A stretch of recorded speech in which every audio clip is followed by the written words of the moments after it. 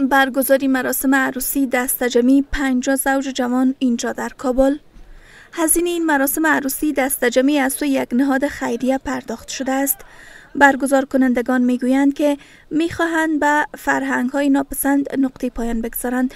زیرا هزینه های کمرشکن عروسی سبب می شود بسیاری از جوانان نتوانند جشن عروسی خود را برگزار کنند.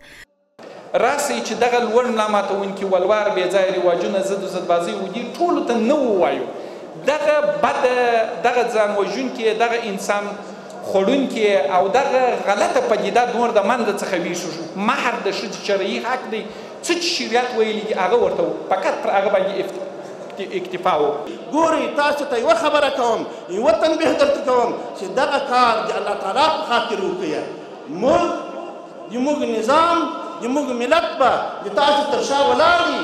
تاسو ته به حتما افر افرین درکوي. تاسو یو لوی کار په مخه باندې راخیستی ده او تاسو محرومین تاسو هغه کسان چې د محرومیت د مایوسۍ په فضا کې ناست دي هغه له محرومیت راباسي شمار از دامادان می‌گویند که آنان توان مالی نداشتند تا جشن عروسی خود را برگزار کنند و خرسندند که زندگیشان به یک مرحله جدید وارد می شوند. ما در حدود یک نیم سال می‌شد که نامزاد بودم و خبر شدم که دفتر سلاف صاحب همچه عروسی دستجمی برگزار نمایه باز رفت همراه نامزاد خود گفتم دیگه تشکر می‌کنم. نامزاد خود قبول کرد. برو صحیح سم ثبت نام که عروسی خوب است اسلامی است بدون مصرف است.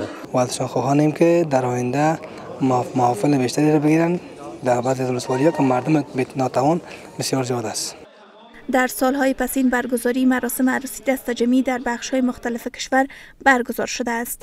باورها این است که باید مصارف عروسی ها کاهش یابد تا جوانان بیشتر بتوانند مراسم عروسیشان را برگزار کنند.